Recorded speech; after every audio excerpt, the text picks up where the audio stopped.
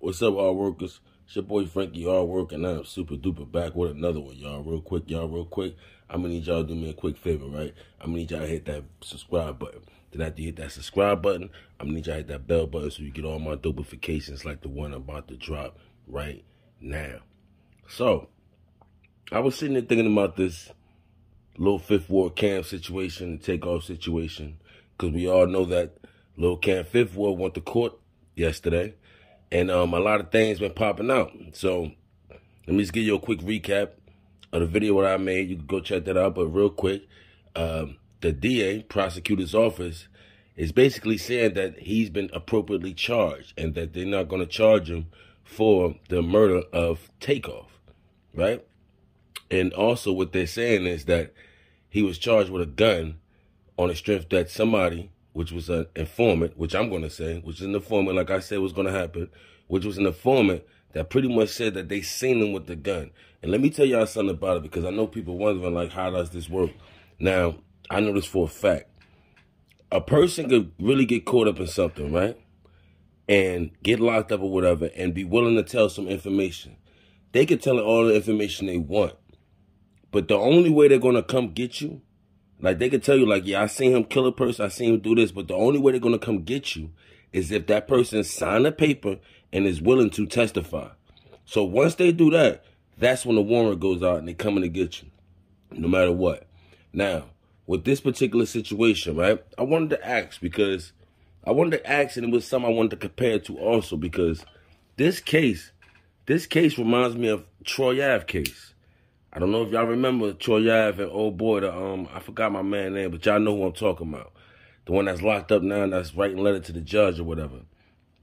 It's the same thing because to me, old boy is gonna have to say something. In in order to in order to because the ballistics didn't come back yet. If y'all listen to the lawyer, he said he don't know nothing about the ballistics or anything like that. So I'm guessing did they catch him with the gun? I still don't know that because they still didn't say that.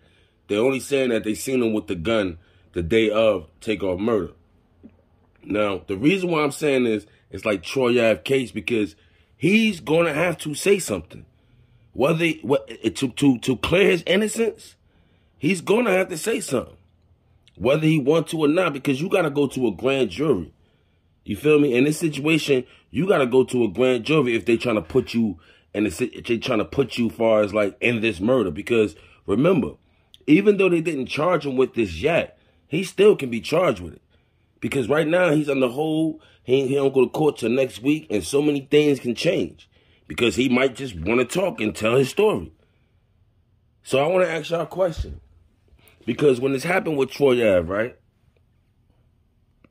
This is what killed Troy Ave career right here. This right here is what killed Troy Ave career. Ave basically didn't go on the stand yet, but everybody called him a snitch because he's basically saying what happened because they trying to charge him with the murder. You see how that works? He's basically trying to claim his innocence by saying, listen, I had to take the gun and do what I had to do because this guy was coming to do whatever he was trying to do. Now, do y'all consider that snitching? Do y'all consider that snitching? Because let me let me ask you a question, right? Say if you in the room, right?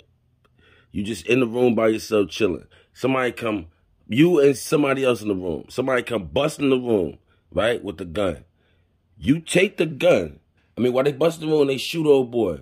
Then you take the gun and then hit them with it. Or you hit somebody else with it by mistake and hit them with it, whatever. They're gonna charge, they're gonna try to charge you with that murder. Would you say anything to clear your innocence? Would you tell them like, yo, this happened because he came in the room trying to kill me, so I had to defend the room. Because that's what's going to happen with this case right here. That's what's going to happen with this case. Like, I, I want, like, real talk, I know they, they, they know who they want to charge right now. Trust me. But the thing is, they can't charge him yet until old boy talk, which is Little Fifth Ward Cam. Because they know what happened.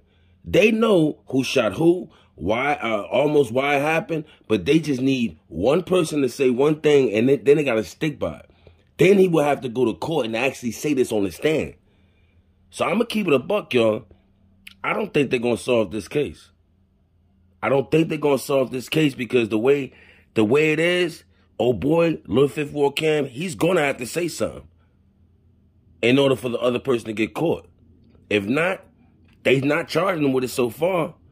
So it might just be a getaway. So y'all let me know how y'all feel. Do you think Lil Fifth Ward Cam should say something? Do you think he's going to say something or not? It's your boy Frankie Hard Work. Like, comment, subscribe, share this video. Let me know how y'all feel. Easy.